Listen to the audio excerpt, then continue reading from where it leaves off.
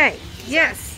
Hi, uh, welcome to Fisher's. I'm third generation owner and uh, my grandparents bought this restaurant in 1955 and as their health declined my parents took it over and closed it in 95 and I reopened it in 2014 so I'm really proud to have you and I hope you enjoy everything. And this was, friends, I don't know, can you see me?